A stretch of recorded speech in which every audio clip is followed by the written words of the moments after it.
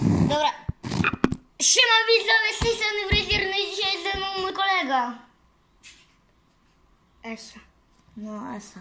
Dobra, i dzisiaj nagrywamy o takie coś, że i zostawcie suba i dzwonka i łapkę i na dzisiaj nagrywamy takie coś, że ja mu robię tak, tak, tak, kładę, a on musi to rurką wdupić. E, Dobra, wdupiamy. Dobra, zacznij oczy. gdy-. Ku, jeszcze nie powiem ci kiedy. No. O kur... Dobra, czekaj. Trzy, dwa... Czekajcie widzowie. Dobra, bo też moja mama chciała. Jestem debilem. Czemu? No bo o kant tutaj się wywrócił. Ja.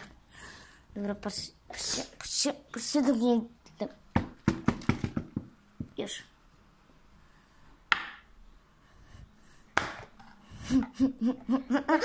Ale ja pierwszy miałem.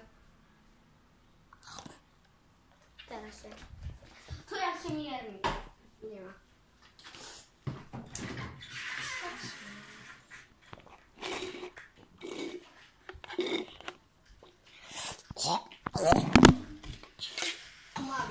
Ja zaraz się zasnę.